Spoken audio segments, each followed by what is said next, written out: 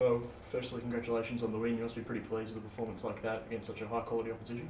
Yeah, look, we uh, we rate Glenorchy very highly. They've been the uh, dominant uh, team in the competition for the last two or three years. So to come out here for the probably the first time five or six years and get a win was, uh, you know, we're very pleased with that. What do you think was the difference in the end to get you guys over the line? Yeah, look, I think we've got a, uh, a pretty solid side in at the moment, and um, we're, we're pretty comfortable, um, we're confident coming out and uh, doing well. Um, we knew Glenorchy got a few injury worries and, and that sort of stuff, which um, you know always makes it a bit harder to to win. Um, so now we're pretty confident. You know, the boys have been playing really good footy over the uh, the journey of the, the season, and um, so we were, uh, I suppose. We had to change our game plan a fair bit because of the uh, the weather and um, it was pretty slippery and um, yucky out there. So uh, I was pretty pleased with the boys being able to do that and play some pretty tough footy. You must have been really pleased with the way Ryan Wiggins particularly started that first quarter. Got Yeah. some reward for a couple of goals. Yeah, look, he, uh, he's a big man and uh, he's very quick and strong and. Um, you know, to, to get, I think he got three in the first quarter, which was really pleasing. Got got, got us off to a good start, or um, kept us pretty close to uh, Glenorchy at quarter time, which was uh, what we wanted to do, being able to keep keep with them for the journey of the game. Yeah, but he uh, he played some really good footy throughout the, the game, and uh, I think he finished with six goals, which was really good reward for him.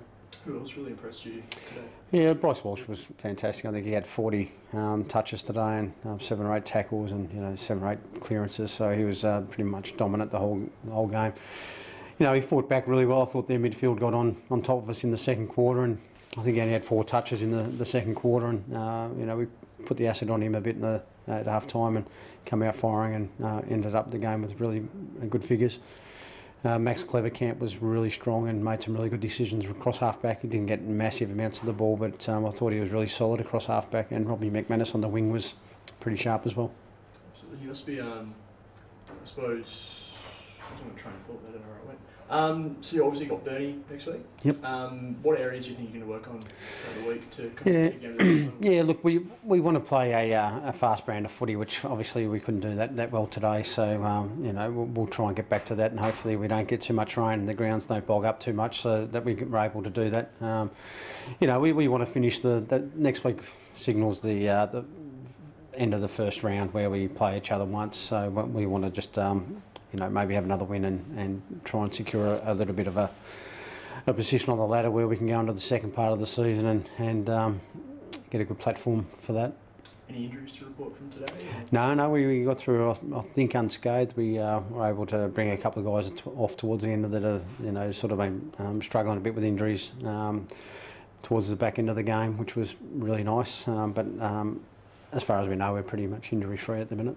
I know he did kick a couple of goals, but have been pretty happy the way Wish Wilson played on Jaye Bowden. Yeah, look, he's uh, he's a young guy trying to find his feet at senior level, and you know, a couple of the goal, goal you know, he's a great player, Jaye. So you know, to hold him to a couple of goals um, was pretty pretty good for, for the young man. Um, you know, he got a couple of really nice deliveries into the forward 50, which he couldn't do much about, but he had a really good starting position on him, so we're pretty happy with that. But, you know, Wish Wilson was really good. Um, he was really nervous with the, the role that we, we gave him, and, you know, I thought he, um, you know, it was tough for forwards as well, so, um, you know, that certainly helped him a bit, but I would think that he'll walk away thinking that, you know, he's done a pretty good job on one of the best players in the competition. Absolutely. Wendy.